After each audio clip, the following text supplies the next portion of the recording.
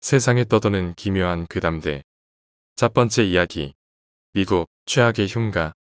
아미티빌 1974년 11월 3일 새벽 3시경. 미국 뉴욕시 외곽의 작은 동네 아미티빌에서는 일가족 6명이 숨지는 끔찍한 살인사건이 발생합니다. 곧장 범인으로 지목이 된 사람은 경찰이 도착한 뒤 어쩔 줄 모르고 주의를 배회하던 대피오 가족의 장남 로널드 대피오 2세였습니다. 로널드는 곧장 경찰서로 연행이 되었고 재판에 회부된 그는 6개의 독립적인 종신형을 받고 평생을 감옥에서 살게 됩니다. 영화 아미티빌의 주인공인 루츠 가족이 이 집에 들어오게 된 것은 1975년 경매에 붙여졌던 집을 루츠 가족의 가장 조지 씨가 싼 값에 매입을 하면서부터였습니다. 경매에 붙여졌던 집을 사는 도중 조지 씨는 아미티빌의 한 가정법원 판사가 이 집은 6명의 일가족이 몰살을 당한 곳이고 현재 이 집에는 당시 그들이 살해를 당했을 때 쓰던 물건들이 그대로 있는데 자네는 정말 이 집을 사고 싶나라고 조언을 해준 판사의 마지막 경고를 묵살해 버렸다고 합니다. 곧바로 그 질문의 의미를 이해 못한 조지 씨는 비싼 물건들이 있으면 내가 아미티빌 씨에 기증을 하겠다는 엉뚱한 대답을 하였지만 그는 곧 판사가 경고하려고 했던 것이 무엇이었는지를 28일 동안 뼈저리게 느끼게 됩니다. 1975년 12월 18일 처음으로 그 집에 들어오게 된 조지 씨는 자신의 집에 어렸을 때부터 친하게 지내던 동네에 가톨릭 교회 신부를 초청, 집안 곳곳에 성수를 뿌리는 악령퇴치 의식을 벌이게 됩니다. 오직 부인의 간절한 부탁 때문에 의식을 벌이게 되었다며 신부님께 농담을 하던 조지 씨는 갑자기 의식을 하던 방에 불이 꺼지며 나가 라고 소리치던 어느 남자의 찢어지는 듯한 비명을 듣게 됩니다. 그때 더러 겁을 먹은 조지 씨와 가족들은 모두 그 소리를 환청으로 간주하고 태어난 척을 하였다고 합니다. 새 집에 이주한 첫날 밤 조지 씨는 약 1년 전 대피오 씨의 살인사건이 시작이 되었다는 새벽 3시 10분 무엇인가 알 수 없는 불편함 때문에 잠에서 깨게 된듯 말로 표현할 수 없던 이상한 공포감을 느끼게 되었다고 합니다. 그 후 아무런 이유 없이 더 이상 직장에 나가지 않고 매일같이 집에 거실에 앉아 있었다는 조지 씨는 어느 날 자신의 어린 딸이 유리컵을 깨뜨리자 갑자기 신경질을 내면서 나무 숟가락으로 아이를 마구 때렸다고 합니다. 조지 씨의 부인 캐시는 밤마다 자신의 옆에 무엇 인가가 서서 지켜보던 이상한 느낌을 받기 시작하였으며 그녀는 자꾸 자물쇠들이 혼자 열리는 이상하고 괴이한 광경을 목격하였다고 합니다. 매일 새벽 3시 15분 잠에서 깬 조지 씨는 어느 날 목이 말라 1층으로 걸어 내려가다 자신의 거실 벽에 걸려있던 십자가가 거꾸로 매달려 있는 광경을 목격하고 인간같이 보이지 않던 누군가가 밖에서 문을 열려고 하던 모습을 목격하였다고 합니다. 첫날 조지 씨의 집에 초청이 되어 악령을 퇴치시키는 의식을 했던 신부님은 독감에 걸려 고생을 하다 조지 씨에게 전화를 걸어 우리가 소리를 들었던 방에는 절대로 들어가지 말라는 경고를 하게 됩니다. 조지 씨는 이상하게도 이사 온 날부터 한 번도 씻지 않고 수염도 깎지 않았으며 어느 날 그는 자신의 자식들이 이상한 자세로 엎드려서 자는 광경을 목격하게 됩니다. 그들이 20여일간 보고 느꼈다는 악령의 존재설은 다음과 같습니다. 1975년 12월 25일 전기불을 안 켜고 둥근 달을 보고 있던 조지 씨는 갑자기 자신의 딸 미시의 뒤에 나타난 돼지와 같은 형체의 괴물을 발견합니다. 조지 씨가 비명을 지르자 그 물체는 어디론가 사라졌고 그의 딸 미 씨는 아버지에게 걔는 내 친구라는 괴이한 답변을 합니다. 1975년 12월 26일 조지 씨는 갑작스럽게 찾아온 복통 때문에 고생을 하고 그의 부인은 계속하여 부엌에서 이상한 향수 냄새를 맡게 됩니다. 조지 씨의 부인 캐시는 크리스마스 때문에 가지고 왔던 돌로 된 사자상이 움직이는 것을 느낄 수 있었으며 저녁밥을 먹고 거실로 가던 조지 씨는 사자상에 걸려 넘어진 뒤 다리에 사자에 물린 자국과 같은 약한 상처를 입습니다. 1976년 1월 1일 새벽 1시가 다 되어 잠자리 들던 키 씨는 갑자기 자신의 방 창문 밖에 빨간 눈을 두 개가 자신을 노려보고 있는 것을 목격합니다. 옆에서 자던 조지 씨는 부인의 비명을 듣고 창문을 열은 뒤 창문 밖에 찍혀있던 이상한 형상의 발자국들을 발견합니다. 1976년 1월 4일부터 조지 씨는 새벽마다 1층에서 들려오던 이상한 북소리와 군인들이 걷는 소리를 듣고 직접 확인을 하러 2층에 내려가지만 아무것도 찾지를 못합니다. 그날부터 이상하게도 조지 씨가 2층에 올라올 때마다 캐시의 침대는 약 50cm 정도 하늘에 떠 있다 내려왔고 그 모습을 지켜봤던 조지 씨는 자신의 성당 신부님들에게 악령을 퇴치시킬 도움을 요청합니다. 1월 8일 조지 씨의 매제는 귀신을 직접 보고 싶다며 조지 씨네 집에서 하룻밤을 자게 되었고 그는 그날 밤 3시 15분 계속하여 비명을 질러 모든 가족들을 다 깨웁니다.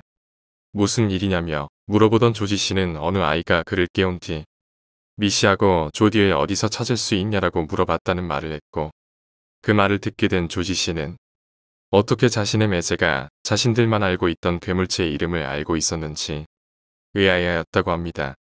1월 13일 밤 조지 씨는 갑자기 캐시가 알 수 없는 언어로 소리를 지르는 것을 보고 이 집에서 나가자며 가족을 데리고 집에서 도망을 치려고 하다 자동차를 비롯한 집안의 모든 전기가 다 나가고 가구들이 혼자 움직이는 것을 목격합니다. 그날 밤 조지 씨의 아이들은 모두 방 안에 괴물이 들어와 우리를 잡아먹으려 한다며 비명을 질렀고 뜬 눈으로 밤을 보낸 조지 씨의 가족들은 황급히 짐을 꾸리기 시작합니다. 1월 14일 새벽 잠이 들었던 아이들이 갑자기 깨어나 다시 한번 비명을 지르는 것을 듣게 된 조지 씨는 아이들의 방 문을 열자마자 불이 나고 무섭게 생긴 어느 악마 형상의 물체와 마주치게 됩니다. 조지 씨의 가족은 더 이상 못 견디겠다며 잠옷바람으로 그 집에서 도망을 치기 시작했고 다시는 그 집을 들어가지 않았다고 합니다. 과연 조지 씨의 가족을 괴롭혔던 그 악령의 정체는 무엇이었을까요? 혹시 현재 감옥에서 살인 혐의로 종신형을 살고 있는 로널드 데티오 주니어도 그 집에서 오래전부터 있던 악령에 홀려 살인을 저지르게 된 것은 아닐까요? 이 집은 현재까지 뉴욕의 롱아일랜드 지방의 흉측한 모습의 흉가로 남아 있습니다. 두 번째 이야기 베란다. 창밖으로 달빛이 어스름하게 스며드는 밤이었다. 눈이 뜨여졌다. 시계는 3시 30분을 가리키고 있었다. 말 그대로 midnight이었다. 요 며칠 자꾸만 잠에서 깨어났다. 이유를 모르겠다. 혹시 또 불면증이 도진 것은 아닌지 덜컥 걱정이 됐다. 며칠간 약 덕분에 우울함은 한결가신 것 같았는데 아니야, 아니겠지. 그 일 이후 아직까지도 신경이 예민해져 버린 탓이겠거니 생각하며 나는 찌뿌듯한 몸을 일으켜 침대 맡에 걸터 앉았다. 방 안은 한산했다. 그 흔한 초침 소리 하나 들리지 않고 있었다. 나는 무심코 손으로 옆자리를 짚었다. 자리에 있어야 할 남편이 보이지 않았다. 침대에서 일어나 안방 화장실 문을 열어보았다. 어둠만 자욱하게 드리워져 있었다. 담배라도 피우러 나간 걸까? 문을 열어 거실로 발걸음을 옮겼다. 마찬가지로 짙은 어둠뿐이다. 베란다 너머론 보다 짙은 밤빛이 한가로이 흩어져 있었다. 널찍하게 드리워진 그 위론 익숙한 실루엣 하나가 흔들리고 있었다. 남편이었다. 베란다 밖에 그는 검은 봉지에 고개를 처박은 채 무언가를 먹는데 열을 올리고 있었다. 여. 그를 부르러던 찰나. 알 수 없는 소리가 뒷자를 맴돌았다. 무언가를 씹는 듯 또 뜯는 듯도 한 소리였다. 미간을 움츠려가며 그의 모습을 조심스레 살폈다. 허겁지겁 무언가를 뜯어먹고 있었다. 벼랑간 섬뜩한 기분이 온몸에 엄습했다. 뭐라 설명할 순 없지만 그 개걸스러운 뒷모습에서 분명 기괴한 기운이 뿜어져 나오는 걸 느낄 수 있었다. 나는 숨을 죽인 채 그의 모습을 훔쳐보다 다시 잠이 밀려오는 듯도 했고 혹시 그와 눈이라도 마주친다면 꽤나 곤란한 상황이 닥칠 것 같다는 본능적인 느낌에 안방으로 돌아와 다시 몸을 뉘었다. 30분쯤 지났을까? 슬슬 잠에 빠지려 할 때쯤 삐걱이는 문소리와 함께 남편이 돌아왔다. 순간적으로 온몸에 한기가 흐르는 걸 느낄 수 있었다. 남편은 방에 들어오는 순간까지도 쩝쩝대는 소리를 멈추지 않고 있었다. 실눈을 떠 슬그머니 남편을 훔쳐보았다. 그는 거울에 얼굴을 바짝 들이밀어 놓곤 이기죽거리듯 불쾌한 웃음과 함께 이쪽 저쪽으로 혀를 눌려가며 치아에 끼어있는 무언가를 열심히 제거하고 있었다. 아, 예, 이 오후를 반복하며 꼼꼼히 확인하길 몇 번. 남편은 만족스러운 얼굴로 지그시 고개를 끄덕였다. 이불을 파고드는 무언가 느껴졌다. 남편이다. 그는 자연스럽게 내 옆으로 몸을 띄었다. 참을 수 없는 오싹함이 다시 등골을 타고 흘러내렸지만 차마 눈을 뜰 순 없었다. 왠지 어둠 속에서 남편이 나를 노려보고 있는 것 같다는 생각 때문이었다. 실제로 어디선가 따가운 시선이 느껴지는 듯도 했다. 그럴수록 나는 더더욱 몸을 웅크렸다. 그리곤 조그마한 숨소리조차 새어나가지 않게 질끈 입을 틀어막았다. 이내 남편의 코골이 소리가 들려오기 시작했다. 그제야 안도의 한숨이 새어나왔다. 그래서? 뭘 그래서야. 그냥 모르는 채 했지 뭐. 너희 남편도 참 이상하다. 얼마나 배가 고팠으면 한밤중에 일어나서 그리도 개걸스럽게 뭘 드셨으려나. 지연은 대수롭지 않은 일이라는 듯 호빵귀를 끼었다. 나는 양미간을 잔뜩 모으며 심각한 표정으로 말했다. 나도 몰라. 근데 너무 무서웠어. 그 사람, 그런 모습은 처음이었다고. 예, 남자는 원래 다 비밀스러운 모습 한 가지씩은 가지고 있는 거야. 너는 어쩌면 아직도 그렇게 남자를 모르니. 그래도 지연이 희고 긴 손가락으로 찻잔을 더듬으며 말했다. 애초부터 지연의 머릿속에 내 얘기 따윈 안중에도 없는 것 같았다. 오로지 지연의 시선은 커피숍을 분주히 헤집고 다니는 젊은 남자 종업원에게 고정되어 있었다. 그럴 법도 했다. 지연이나 나나 지금이면 한창 많은 남자들을 만나고 다닐 나이였으니까 나는 결혼을 서두른 편이었다. 어느새 신혼 3년차. 올해 25이니 무려 22살의 남편을 만나 결혼에 골인했다. 가끔은 일은 결혼이 후회스러운 순간도 있었다. 아무래도 이것저것 속박을 받는 게 많았기 때문이리라. 선영아, 제일 귀엽지 않니? 지연이 손가락으로 종업원을 가리키며 물었다. 응, 귀엽네. 나는 시큰둥하게 대답했다. 얘는 싱겁게. 고겁지 않은 지연의 태도에 내 입에서 깊은 한숨이 새어나왔다.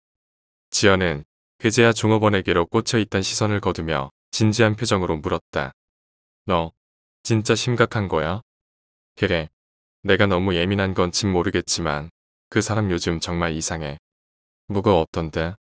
지연이 아메리카노를 홀짝이며 물었다. 나도 몰라. 그냥 그 사람. 나한테 요즘 부쩍 무심해진 것 같기도 하고 전처럼 살갑게 대하는 것 같지도 않고 그저 집에만 오면 밥 먹자, 씻자, 자자. 그게 끝이야. 나는 그이랑 대화도 하고 싶고 여기저기 놀러도 다니고 싶고 어쩔 땐 오붓하게 둘이서만 술 한잔도 하고 싶고 이것저것 다 하고 싶은데 말이야. 어쩌면 사랑이 식어버려서 그런 건 아닌지. 혹시 너 산후 우울증 아니니? 지연이 티슈로 입 주변을 닦으며 조심스럽게 물었다. 잘 모르겠어. 그럴 수도 있겠지. 그이는 꼭두 새벽같이 출근해서 해가 질 때쯤인데 돼서야 들어오고 나는 그동안 하루 종일 좀스런 상념에만 젖어 살아.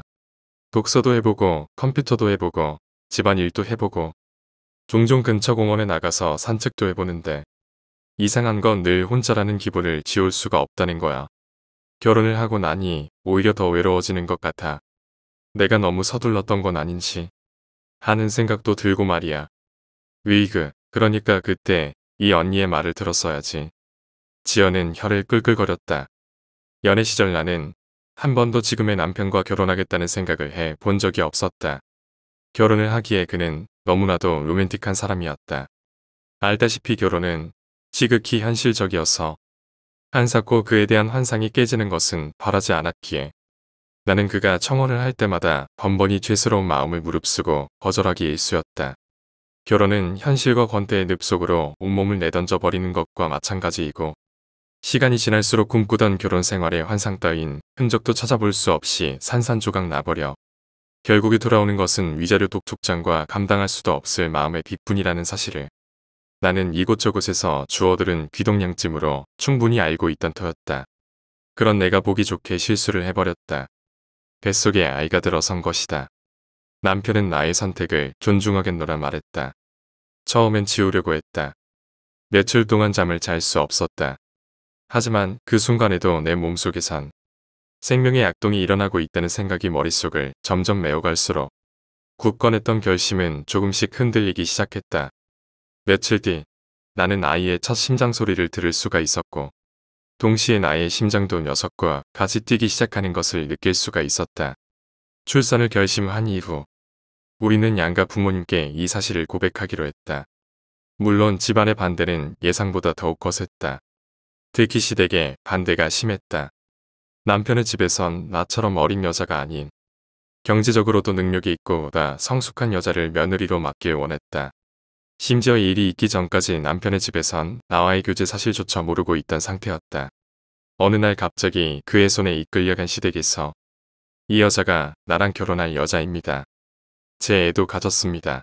저는 이 아이를 낳을 작정입니다. 라며 온 집안의 못을 박아놓곤 호련히 뛰쳐나와 버렸으니 생각해보면 완강한 반대가 없는 것도 이상할 일이었다. 한때는 시댁에서 낙태할 때 쓰라며 돈을 쥐어주고는 아이를 지우라고 부탁하기도 했었다. 그 사건은 지금까지도 깊은 상처로 남아있다. 하지만 우리의 생각은 양가의 생각만큼이나 굳건했다. 그 의지가 명확하게 피력되고 결국엔 누구도 그것을 쉽게 꺾을 수 없음을 알게 되었을 때 남편의 집안에선 울며 겨자 먹기에 가까운 결혼 승낙이 떨어졌다. 승낙 이후 남편과 나는 세상 무엇과도 바꿀 수 없는 소중한 생명을 지켜냈다는 마음에 며칠을 부둥켜 안고 펑펑 울었다. 서둘러 혼례를 마쳤으면 좋겠다는 시댁에 안 입고 온 눈초리에 쫓기듯 결혼식을 치르고 난 후 우리는 설레는 마음으로 발리로 향했다. 하지만 그때였다. 장거리 여행으로 인한 여독이 미처 풀리기도 전에 공항에서 나는 극심을 진통이 찾아오는 것을 느꼈다. 삽시간에 양수가 터졌고 많은 양의 하혈이 시작됐다. 남편은 서둘러 구급차를 불렀다. 일각을 다투는 상황인지라 그의 표정엔 수심이 잔뜩이었지만 나는 그 고통 속에서도 자그마치 피어나는 희열을 느낄 수가 있었다. 이제 곧, 이제 곧 우리의 아이를 만나게 될 수 있으리라. 하지만 병원에서 우리에게 들려온 소식은 절망적이었다. 예정일보다 8주나 빠르게 아이는 자궁을 비집고 나오려 하고 있었다. 두 달 남짓 정도의 조산이 흔히 있는 일은 아니지만 그렇다고 드문 일도 아니었다. 문제는 따로 있었다. 아이였다. 아이는 사사나였다. 뱃속에서 죽어버린 것이다. 망치로 뒤통수를 강하게 얻어맞은 기분이었다. 쏟아지는 눈물을 참아낼 수 없었던 기억이 여전히 눈에 선하다. 의사는 한시라도 서둘러 사사나를 적출해야 한다고 말했다. 만약 그대로 방치한다면 자칫 내 목숨까지도 위태로운 상황이었다. 진동은 더욱 극심하게 밀려오고 있었다. 남편은 이미 넋이 나간 표정이었다. 얼마 뒤 수술은 긴급하게 진행됐다. 차가운 바에 누워 주사바늘이 발등 언저리로 무자비하게 꽂히고 무영등의 눈부신 조명빛이 동공을 집어 삼키는 듯한 느낌이 들던 찰나 흐릿한 의식으로 눈을 떠보니 온몸에는 또 다른 주사바늘들이 정신없게 꽂힌 채 덜컹거리는 병상 위에 실려 회복실로 향하는 나를 발견할 수 있었다. 지영과 별 소득 없는 얘기가 몇 번 더 오고 갔다. 더 이상 대화의 필요성을 느끼지 못한 나는 얼토당토하는 핑계를 둘러대며 서둘러 카페를 빠져나와 차에 몸을 실었다. 답답한 마음에 연거푸 들이킨 아메리카노 몇 잔 탓인지 입안을 맴도는 텁텁한 느낌이 도무지 운전에 집중을 할 수 없게 만들었다. 껌이라도 씹으면 좀 나아지려나. 마침 근처 골목에 편의점 하나가 들어서 있었다. 얼마 죠? 천 원입니다. 몇 년 사이에 껌 가격이 꽤 많이 올랐다. 그저 평범한 추임껌일 뿐인데 포도맛 어렸을 때부터 포도를 좋아했다. 포도는 장점이 많다고 한다. 고대 그리스에선 포도주를 심장병, 천식, 피부병, 그리고 우울증을 치료하는데 쓰기도 했었다고 한다. 어쩌면 우울증에 효과가 있다는 말에 더욱더 포도를 좋아하게 됐는지도 모른다. 생각해보면 그 일이 있은 이후로 포도를 먹어 본 기억이 거의 없다. 여하튼 포도는 가장 좋아하는 과일 중 하나였다. 편의점을 빠져나와 다시 차에 몸을 실었다. 은박지를 벗겨 껌 하나를 집어들었다. 밀가루가 덕지덕지 묻어있다. 입 안으로 쏙 넣어 몇 번을 오물거리니 점차 껌이 부풀어 오르는 것을 느꼈다. 텁텁함은 확실히 가시는 듯했다. 문득 백미러에 비친 내 모습을 보았다. 부지런히 껌을 질겅대는 모습이 괜스레 생경하게 느껴졌다. 왜 그렇게도 어색하게 느껴지는 걸까? 얼마 지나지 않아 난 그 이유를 명확하게 알 수 있었다. 쩝쩝. 신경에 거슬릴 정도로 쩝쩝대는 소리가 차 안에서 가득 울려 퍼졌다. 물론 차 안엔 나 이외에 아무도 없었다. 벼랑간 어제 보았던 남편의 모습이 오버랩됐다. 몸서리가 쳐졌다. 남편의 얼굴이 머릿속에서 떠올랐다. 소름이 돋았다. 어디선가 남편이 나를 쳐다보고 있는 것 같았다. 나는 결국 껌을 뱉어버렸다. 왔어요. 나는 도어록 소리에 반사적으로 외쳤다. 남편이다. 그는 나를 보고 미소를 지었다. 어딘지 모를 쾌한 웃음이었다. 부쩍 수척해진 그의 얼굴에서 광대까지 내려온 그늘은 그 웃음을 더욱 깨름칙하게 보였다. 어제의 기억이 파도처럼 덮쳐왔다. 애써 무시하려고 했다. 자기야. 인기척도 느끼지 못할 만큼 순식간에 내 뒤로 남편이 다가와 있었다. 갑자기 그가 내 가슴을 움켜쥐었다. 당황스러웠지만 짐짓 옅은 미소를 지으며 뒤척이듯 몸을 빼냈다. 하지만 그는 그럴수록 더욱더 세게 가슴을 움켜쥐었다. 엉덩이에서 빳빳하게 서 있는 무언가의 감촉이 느껴졌다. 그는 천천히 그것을 내 둔부에 문지르기 시작했다. 온몸의 털이 곤두섰다. 그는 몇 분이나 그것을 문지르다 나를 덜컥 돌려 세워서는 키스를 하기 시작했다. 그는 나의 손을 자신의 그곳으로 가져갔다. 나는 습관적으로 남편의 그곳을 아래 위로 흔들기 시작했다. 그의 입에서 옅은 탄성이 터져나왔다. 그는 가쁜 숨을 몰아쉬며 내 귓가에 대고 속삭였다. 우리 아이 다시 가질래? 네. 그 말에 화들짝 놀란 나는 무의식적으로 그를 밀쳐버리고 말았다. 3년 전의 이 이후로 나는 성관계에 대한 중증 이상의 공포가 생겨나 버렸다. 초반 1년간은 죽은 아이의 얼굴이 머릿속에 아른거려 수면제가 없인 제대로 잠을 잘 수가 없을 정도였다. 나에게 섹스란 마음속 깊은 곳에 머물져버린 감당할 수 없는 트라우마를 헤집어내는 것이나 다름없었다. 이미 남편의 얼굴은 상기되어 있었다. 나는 애써 그 눈길을 피하며 말했다. 미안해요. 그게 아니라 뭐야 이렇게까지 밀칠 필요는 없잖아. 아니 나도 모르게 대체 언제까지 이럴 거야? 여보 이젠 제발 좀 그만하면 안 돼. 무려 3년 전 일이야. 3년이라고 고의가 아니었어요. 돼서 지겹다. 이제 남편은 차가운 말투와 함께 방으로 사라져 버렸다. 고압적인 태도의 남편이 낯설었다. 물론 그의 마음도 충분히 이해할 수 있었지만 이런 모습은 영 익숙하지가 않았다. 나는 무너지듯 자리에 주저앉아 버렸다. 알 수 없는 소리에 다시 눈이 떼어진 건 그날 새벽이었다. 짙은 어둠 사이로 힘얼건 형체가 바쁘게 움직이고 있었다. 인형이 확실했다. 남편이겠지. 실눈을 떠 그를 지켜보았다. 그는 서랍 속에서 꺼내든 무언가를 바스락거리며 뒤지고 있었다. 하나, 둘, 셋, 넷. 그는 꽤나 거슬릴 정도의 소리가 들리고 있는데도 오로지 그것들을 세 맞추는데 열중이었다. 남편은 그것들을 다 세고 난 뒤 속삭이는 듯, 또 이기죽거리는 듯 한 목소리로 혼잣말을 중열이 곧 안방을 빠져나갔다. 나는 숨소리를 죽인 채 그의 발자국 소리를 더듬어 들었다. 세시가 열렸다 닫히는 소리가 났고 다시금 그 바스락거리는 소리가 희미하게 들려오기 시작했다. 쩝쩝. 그늘도 역시 남편은 무언가를 개걸스럽게 쩝쩝대고 있었다. 나는 멀찍어 떨어져 그 모습을 훔쳐보다. 이윽고 용기를 내어 조심스레 그의 뒤에 다가섰다.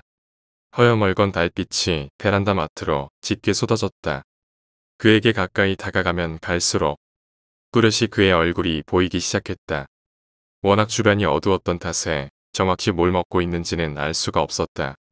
형태와 감질만을 아스라이 알아챌 수가 있었는데 그것은 분명 조그맣고 미끌한 표면을 지닌 무엇이었다. 더구나 그가 완벽하게 거실쪽으로 등을 치고 있던 탓에 그 이상을 확인하는 것은 불가능이었다. 그때였다. 느닷없이 남편이 내 쪽으로 고개를 돌렸다. 동시에 그와 눈이 마주쳤다. 나는 너무 놀란 나머지 뒷걸음질을 치다 그만 바닥으로 넘어지고 말았다. 그는 아연 실색한 표정으로 손에 쥐고 있던 검은색 봉지를 허겁지겁 챙기기 시작했다. 그의 눈 속엔 당황스러움과 난감함이 뒤죽박죽 엉켜 있었다. 입가엔 진홍색의 알수 없는 무언가가 얼룩덜룩했다. 그는 나의 시선이 그의 입가로 향하고 있음을 알아차린 듯 재빨리 손등으로 입술을 훔쳐냈다. 나는 얼빠진 표정으로 그 자리에 주저앉아 있었다. 곧 남편의 눈이 번뜩였다. 그의 동공은 불안한 듯 쉴 새 없이 흔들리고 있었다. 그와 나 사이에 한동안 적막함이 흘렀다. 얼마쯤 지났을까? 나는 소파 위로 간신히 몸을 앉혔다. 그러나 남편은 미동도 없이 멀뚱히 서 있을 뿐이었다. 초점을 잃어버린 그의 눈에선 알 수 없는 이체가 뿜어져 나왔다. 나는 경직된 자세로 한동안을 그렇게 꿈쩍없이 앉아 있었다. 그날 아침 그가 출근을 할 때까지 나는 꼼짝없이 뜬 눈으로 밤을 지새웠다. 남편은 여느 때와 다름없이 아니 마치 아무것도 기억하지 못하는 사람처럼 씻고 밥을 먹고 주섬주섬 옷을 챙겨 입고 심지어 다녀올게라며 자상한 목소리로 내게 인사를 하고 출근길에 나섰다. 알 수 없는 공포감이 온몸을 휘감고 돌기 시작했다. 나는 소파 위로 힘없이 쓰러져 버렸다. 저녁. 우리는 식탁에 앉아 한마디의 대화도 없이 식사에만 열중하고 있었다. 그것은 식사라기보다 단순히 꾸역꾸역 밥을 집어 삼키는 행위를 반복하고 있는 것과도 같았다. 그는 내게 눈길조차 건네지 않았다. 나 역시 마찬가지였지만 적어도 어젯밤 일에 대해 무슨 해명이라도 해야 되는 것은 아닌가 하는 생각이 들었다. 나는 몇 번이고 입을 들썩이다 어렵게 입을 뗐다. 여보. 응. 남편은 무미건조한 목소리로 말했다. 어제 일 말이에요. 응. 나한테 어느 정도 설명이 필요한 일이라고 생각하지 않아요? 응. 너무나도 태연하게 또 당당하게 튀어나오는 그의 대답. 순간 말문이 막힐 수밖에 없었다. 나는 손에 들고 있던 숟가락을 챙 소리가 날 정도로 요란스럽게 내려놓으며 말했다. 왜요? 왜냐고? 남편의 광대가 실룩실룩 거렸다. 그건 그는 말끝을 흐리며 식탁 밑에서 무언가를 주섬주섬 꺼내 들었다. 검은 봉투였다. 거기선 엄청난 악취가 퍼져 나오고 있었다. 그걸 왜 어제는 못 맡았었는지가 스스로 놀라울 정도였다. 양손으로 코를 틀어막았지만 소용없었다. 그 냄새는 고등어가 썩어가는 냄새 같기도 했고 죽은 동물의 시체가 썩는 냄새 같기도 했다. 어쨌거나 확실한 건 그 검은색 봉투 안에 무엇이 들어있든 간에 어서 그것을 치워버리는 게 최선이라는 것이었다. 욕지기가 넘어오는 것을 간신히 참아가며 남편에게 물었다. 그게 뭐죠? 음, 이건 내가 정말로 아끼는 건데. 그는 말이 끝나기 무섭게 야기죽거리는 미소로 그것을 살랑살랑 흔들어대기 시작했다. 검은색 비닐봉지의 매끄러운 표면에는 오돌토돌하게 튀어나온 곳도 미죽이 튀어나온 곳도 있었다. 꽤나 많은 양의 무언가가 담겨 있는 것 같았다. 봉투가 흔들릴 때마다 참을 수 없는 악취가 점점 더 심해져 갔다. 나는 큰 소리로 외쳤다. 당장 치워요. 왜, 당신도 먹어봐. 아주 맛있는 거거든. 뭐라고요? 일순 남편의 눈이 희번덕해졌다. 그는 검정 봉투 안에 무언가를 식탁 위에 차근차근히 늘어놓기 시작했다. 나는 곧 비명을 지르며 위자를 박차고 일어났다. 남편의 손에서 하나, 둘씩 달려 나오는 것은 죽은 태아의 것으로 보이는 팔, 다리들이었다. 군데군데가 흉물스럽게 문드러져 뼈가 드러나와 있었고 시뻘건 피가 소스처럼 곁들여져 바닥으로 뚝뚝 떨어지고 있었다. 남편은 그것을 먹음직스럽게 쳐다보며 입맛을 다시기 시작했다. 나는 또다시 뛰쳐나오는 비명을 막을 수가 없었다. 자, 맛있겠지? 그는 귀청이 떨어질 정도로 질러대는 내 비명이 즐겁기라도 한듯 더욱 바삐 손을 움직여 태아의 간, 공팥, 지라 따위의 내장들을 줄줄이 늘어놓기 시작했다. 그가 물컹거리는 간을 집어들어 개걸스럽게 그것을 한 입 빼어 물었다. 분수와 같은 핏줄기가 그의 이빨 자국 사이에서 흘러나오기 시작했다. 남편은 그것을 껌처럼 우물우물 씹어 먹으며 행복한 미소를 지어 보였다. 뼈 문간 사이로 담관과 혈관이 흉물스럽게 뒤엉켜 있는 것이 보였다. 남편은 행여 한 방울의 피라도 후를 새라 부지런히 그것을 하다 먹고 있었다. 나는 현관을 향해 전속력으로 도망쳤다. 남편이 용수철처럼 식탁에서 튕겨나와 후들거리는 내 뒷덜미를 낚아챘다. 오래 같은 비명이 다시 한번 뛰쳐나왔지만 남편은 아랑곳하지 않은 채 두툼한 손으로 내 입을 틀어막아다. 있는 힘껏 발버둥을 쳐보아도 모두 헛수고였다. 남편이 한 손으론 입을 한 손으론 뒷덜미를 잡은 채 나를 개처럼 끌고 가 억지로 식탁 의자에 앉혔다. 자, 당신도 먹어봐. 그만해. 먹어보라니까. 우리의 아이야. 맛있다고. 아마 당신도 한 입 먹어보면 좋아하게 될 거야. 새된 비명들은 계속해서 목구멍에서 꺼져갔다. 남편이 또 검정 봉투에서 무언가를 꺼내 들었다. 태아의 머리였다. 하도 악을 쓰며 소리를 질러댄 탓에 안구의 모세혈관들이 터지며 핏물에 가까운 눈물이 볼을 타고 흘러내렸다. 태아의 머리는 진홍색 피로 뒤범벅이 되어 있었다. 천정의 백열등 빛에 반사된 핏빛은 괴괴하게 반짝거렸다. 그는 태아의 머리를 조심스럽게 식탁 위에 올려놓았다. 그리고는 있는 힘껏 망치로 내리찍었다. 보기 좋게 으스러진 태아의 두개골 속에서 힘얼건 뇌수가 흘러나왔다. 남편이 다시 한번 입맛을 다시며 그것들을 핥기 시작했다. 구역질이 나왔다. 자, 어. 그는 회백색의 뇌수를 몇 번이고 핥다가 이제는 내 입에 강제로 쑤셔 넣으려 했다. 나는 입을 벌리지 않으려 끝까지 안간힘을 썼지만 남편의 완력은 상상 이상이었다.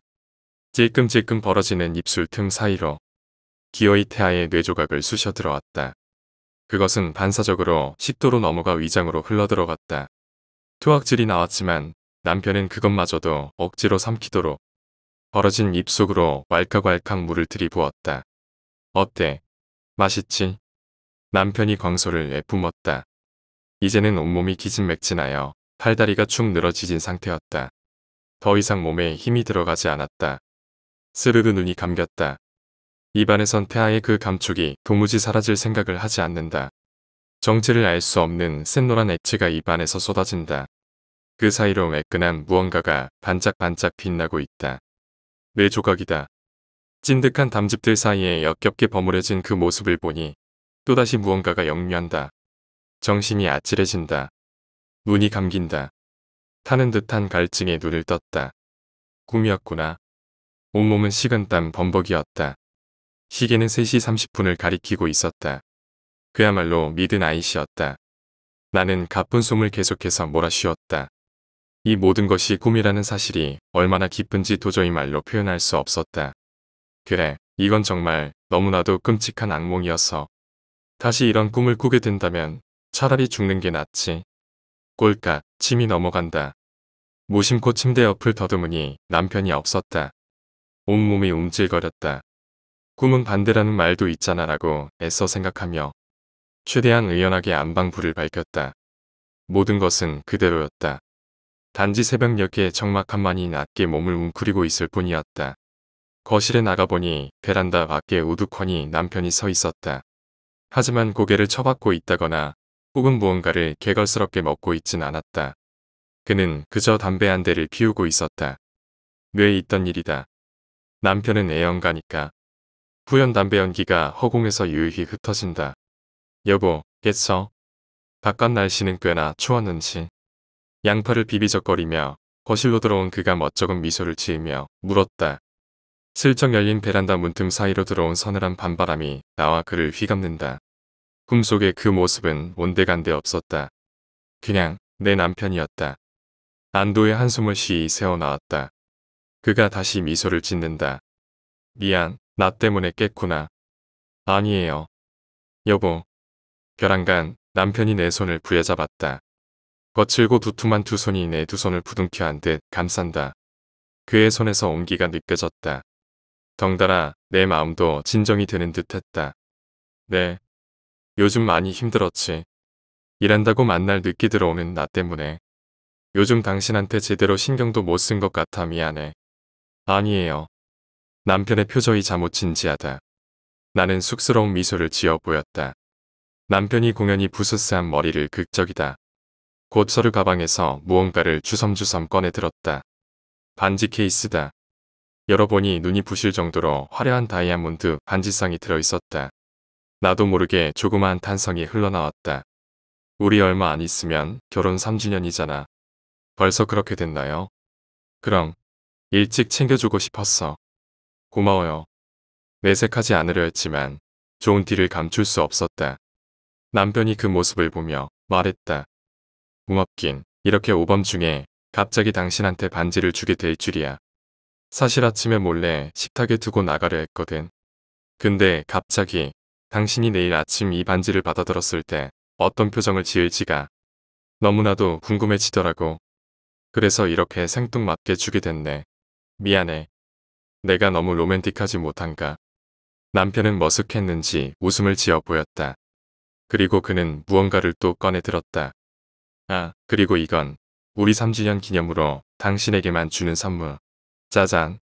금박지로 고이 포장된 적당한 크기의 상자.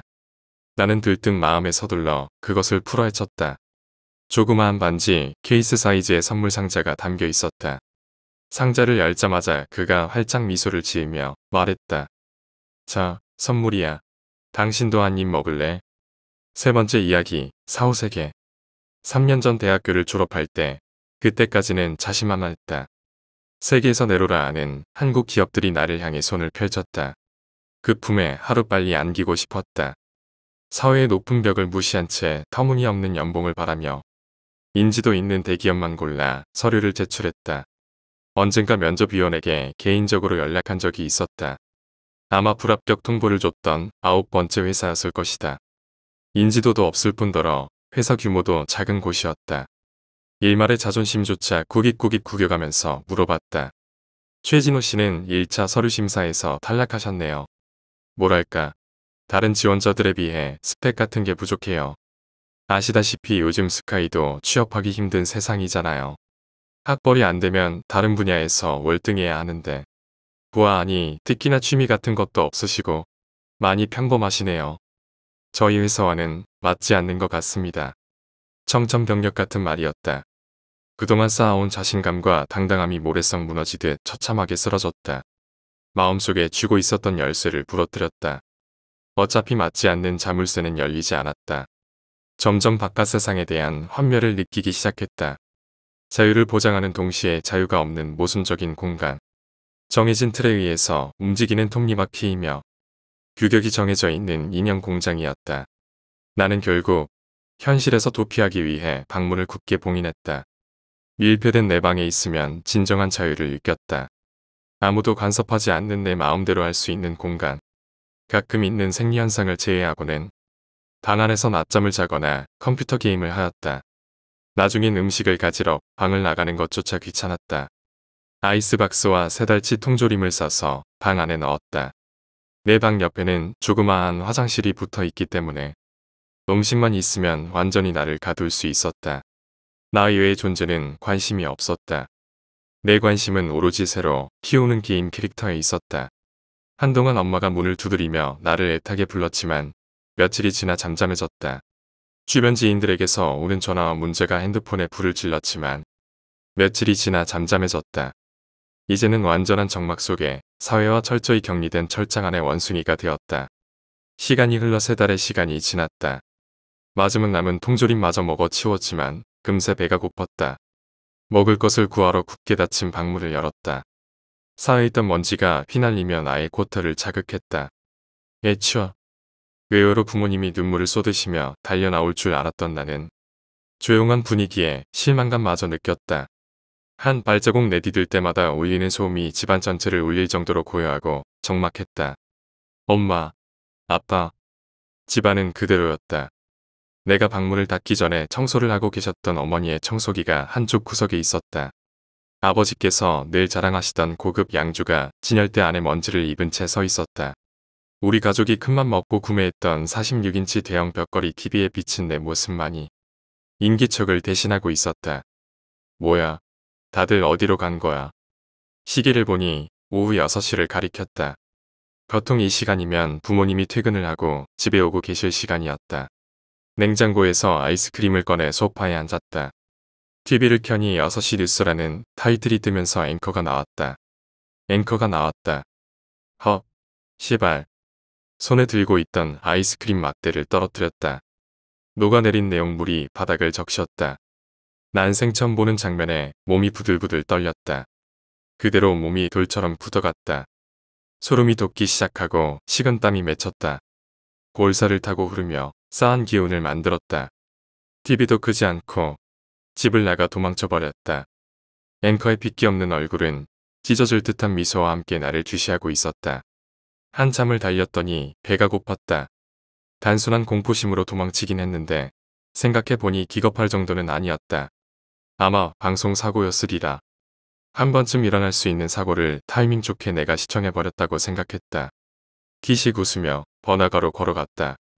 그건 그렇지만 꽤 섬뜩했단 말이야. 마치 저승사자 같잖아. 그런데 아까부터 길거리에서 마주치는 사람이 한 명도 없었다. 원래가 조용한 동네였다고 해도 지금쯤이면 동네 꼬마 녀석들의 함성 소리와 또각또각 소리 나는 아가씨들의 구두 소리가 나야 했다. 의아심이 들었지만 곧 깨달았다.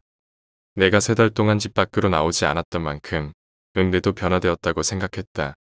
한참을 걸으니 간판에 불이 들어온 희망 슈퍼가 나타났다. 이곳 아주머니하고 나는 꽤나 친한 사이였다. 작년에 과자를 훔치고 도망갔던 아이들을 잡아 온 적이 있었다. 돈 몇 푼안 되는 과자였지만 버릇을 단단히 고쳐놓기 위해 필사적으로 잡아서 아주머니께 데려갔다. 아주머니도 그 마음을 아셨는지 아이들을 보낸 뒤에 내게 음료수 하나를 손에 꼭 쥐어주셨다. 당연히 누구나 했을 일이라면서 거절했다. 아니야 이거 먹어. 내 아들 같아서 그래.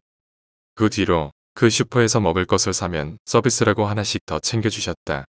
받기만 하는 것이 마음에 걸려서 할머니가 보내주셨던 양념게장 두 마리를 갖다 드렸더니 그날 2만원어치 과자를 얻어왔다. 이모, 나왔어. 안에 있어.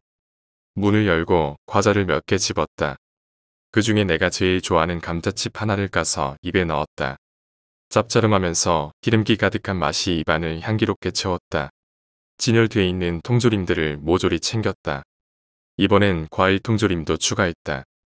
세 달 동안 먹었던 것이라고는 골뱅이와 참치, 장조림 종류였기 때문에 입에서 비린내가 가시질 않았다. 진호 왔나? 아이고 참말로 오랜만이네. 이모나 오늘 여기 싹쓸이 하려고 왔어. 싹쓸이. 그게 뭔데? 내가 장사 잘 되게 해준다고. 한 달치 물건을 다 고르고 카운터에 올려놓으니 산더미를 방불케 했다. 지갑에서 10만원짜리 수표 두 장을 꺼내서 올려놓고 비닐을 뜯어 정신없이 물건을 담았다. 이거 됐다. 네 만난 거 사먹어. 아주머니가 수표를 다시 나에게 건네셨다. 응? 왜? 이것들을 어떻게 다 공짜로 먹어? 아니면 이거 받아서 너희 엄니 들여서 효도해라. 아 갑자기 왜 그래 이모. 나도 손님이야. 정당하게 값을 받아야지. 어차피 사는 사람도 없고 내버려도 어차 쓸데없다. 차라리 네 먹이는 게 낫지. 10원 단위까지 철저하게 계산하는 사이가 아니라 몇천 원씩 깎는 사이지만 이런 적은 없었다.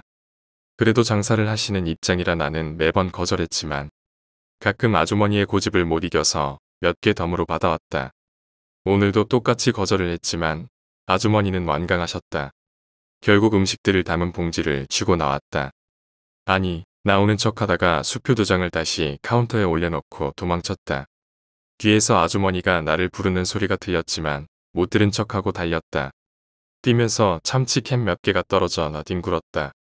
집에 돌아오니 도마에 칼질하는 소리와 함께 귀비에선 한창 인기 있는 개그맨이 농담 따먹기를 하고 있었다. 집안 공기가 따뜻하다 못해 포근했다. 한동안 느끼지 못했던 사람 사는 인기척이 났다. 부엌에서 엄마가 나를 발견하더니 소리를 질렀다.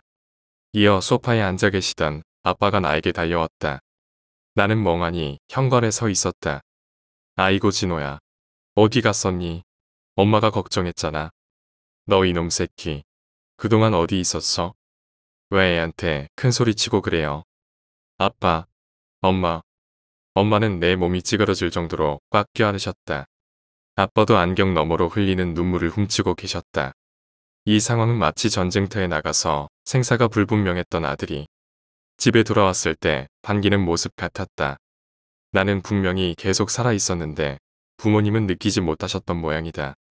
일단 죄송하다라고 말하고 난 뒤 변명거리를 생각하고 있는데 엄마의 다음 말이 나의 후두부를 강타했다. 너 도대체 어디 있었던 거야? 방 안에도 없고 집에 들어온 적도 없고 말이야. 손에 들고 있던 물건들을 쏟아버렸다. 복숭아 통조림이 굴러다니며 요란한 소리를 냈다. 내가 집 안에 없었다고. 나는 세 달 내내 쭉 방에 처박혀 있었는데 없었다니.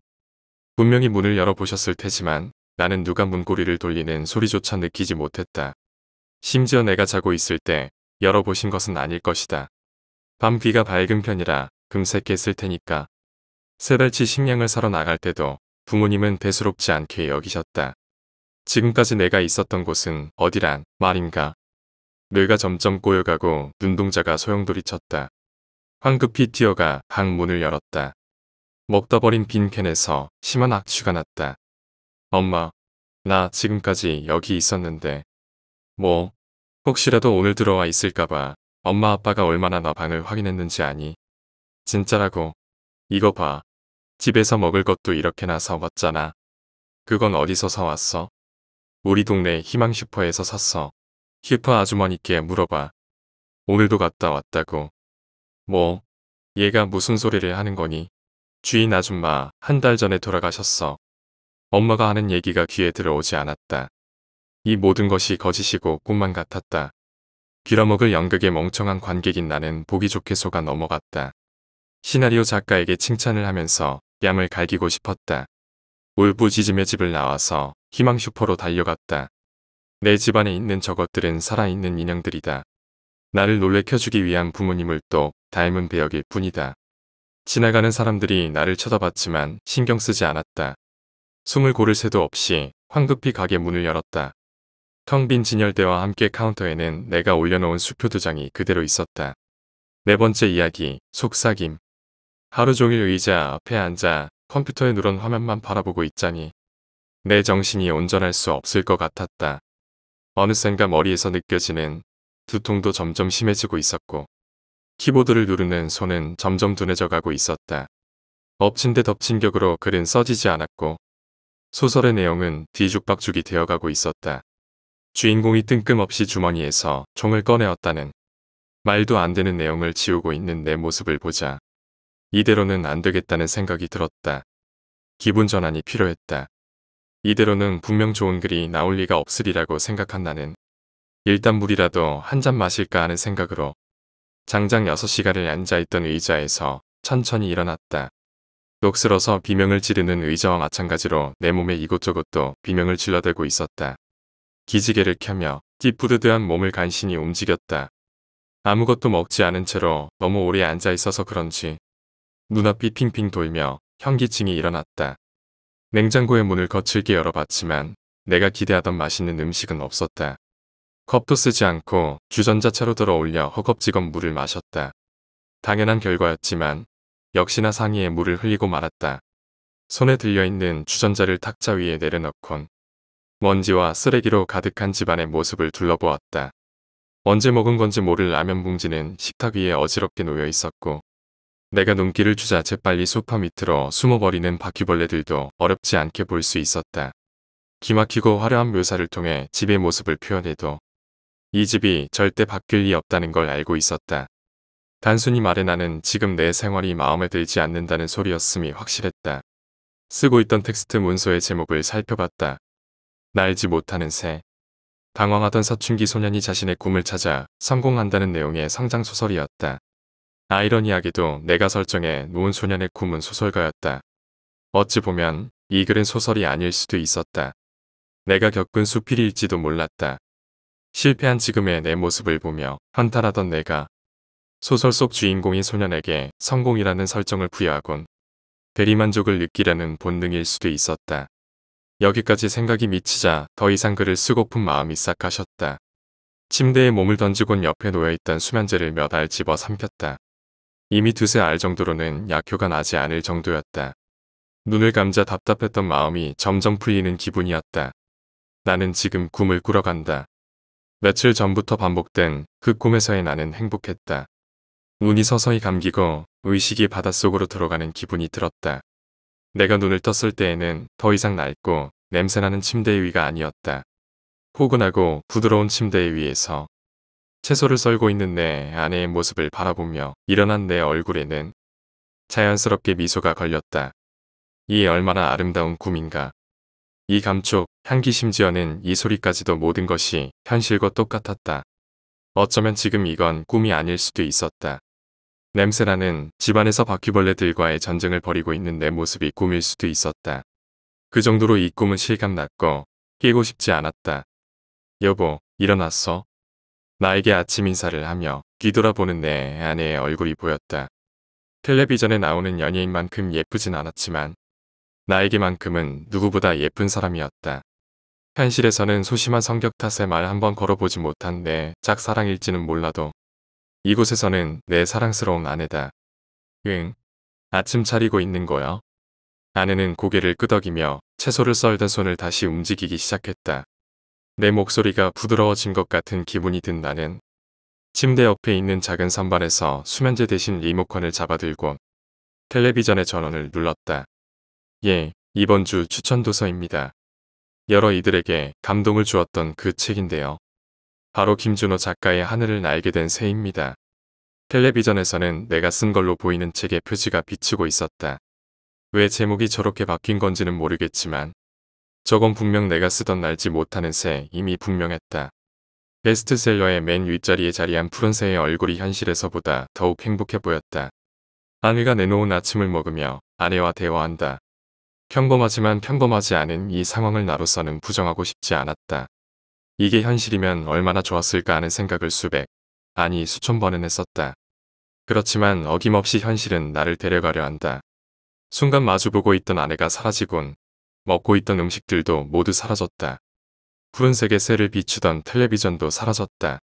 모든 것이 사라졌다. 끝이네. 정신을 차리자 내 귀에 들려오는 익숙한 소리는 다름 아닌 기익이었다. 녹슬대로 녹슬어버린 침대가 내뱉는 비명소리였다. 꿈속에서 내가 입에 넣었던 음식들이 자고 있는 내 몸 위를 마치 놀이동산이라도 온 듯 움직여대는 바퀴벌레일지도 모른다는 사실에 저절로 몸서리가 쳐졌다. 침대의 비명을 뒤로하고 자리에서 일어난 나는 어김없이 컴퓨터 앞에 의자에 앉았다. 사실 날지 못하는 새는 이미 완결된 소설이었다. 이미 출판사에도 책의 내용을 적어 내보냈으며 이제 기다릴 건 출판사의 반응뿐이었다. 하지만 며칠이 지나도 출판사에게서 기분 좋은 반응은 들려오지 않았다. 날지 못하는 새를 읽어보기나 한 것일까. 괜한 분노에 전화를 하려던 것이 몇 번째지만 결국 전화를 한 적은 한 번도 없었다. 내 의지조차 제대로 전달할 수 없게 만든 이 소심한 성격이 원망스러웠다. 이 성격만 고쳤더라면 나는 지금 날지 못하는 새가 아니었을지도 모른다. 눈에서 흐르는 눈물이 키보드 위를 적셨다. 더 이상 이대로 살고 싶진 않았다. 선택의 여지가 없었다. 지금의 나는 꿈속에서처럼 베스트셀러 작가가 될 만한 글재주가 없었으며 그렇다고 다른 일을 찾아 시작할 능력도 없었다. 믿을 건 하나였다. 그 꿈이 사실은 현실이길 바라는 수밖에. 지금 이 지옥 같은 생활이 꿈이길 바랄 수밖에 없었다. 제발 그 꿈이 악마의 유혹이 아닌 천사의 속삭임이길. 누런 침대는 금방 다시 침대에 눕는 나에게 또 안녕은 인사 대신 여전히 비명을 질러댔고 내 손에 들려있는 하얀 수면제는 나에게 웃음을 짓고 있었다. 마치 앞으로 나에게 찾아올 행복한 나날들을 알리고 있는 것만 같았다. 남은 수면제를 모두 입속에 털어넣었다. 약간의 두려움이 남았지만 더 이상 생각할 여유가 없었다. 물로 마시지 않은 채 입안에 수면제를 모두 집어 삼켰다. 점점 정신이 몽롱해져만 갔다. 평소처럼 잠이 드는 것이 아니라 확실한 죽음으로 향하는 것임이 분명해졌다. 기분이 편할 것만 같았는데 그게 아니었다. 흐릿해져가는 의식은 점점 진해져만 갔고 온몸을 감싸던 두려움 또한 점점 희미해져 갔다. 그 순간이었다. 언제부턴가 거들떠보지도 않던 휴대폰에서 요란한 진동음이 울렸다. 전화가 온 것임이 확실했지만 그것을 받아서 말을 할 수 있는 힘이 남아있지 않았다. 몇 번의 진동이 울린 후에야 휴대폰은 잠잠해졌다. 그러자 메신저음이 울렸다. 가까스로 휴대폰을 들어 올려 메신저를 확인한 나는 경악을 금치 않을 수 없었다. 김준호 작가님 모 출판사입니다. 보내주는 날지 못하는 새해 정식 출판 날짜가 잡혔습니다. 출판사 직원 모두들 반응이 좋더군요. 그럼 기대하고 있겠습니다. PS 내용의 후반부에는 소년이 자신의 꿈을 이루고 성공하는 이야기던데요. 제목과 조금 매치가 안 되는 것 같아서요. 제목을 다른 걸로 바꾸면 어떨까 합니다. 생각 중인 것에서는 하늘을 날게 된 새가 있는데 어떠실지 메신저 보고 연락 주시길 바랍니다. 이미 감각이 묻어졌지만 지금 내 눈에서 눈물이 흐르고 있다는 사실은 알 수 있었다. 그건 분명 내 인생에서 앞으로 일어날 미래였음이 틀림없었다. 조금만, 조금만 더 기다렸었더라면 이런 일은 일어나지 않았을까. 그제야 그 꿈은 천사의 속삭임이었다는 걸 깨달았다.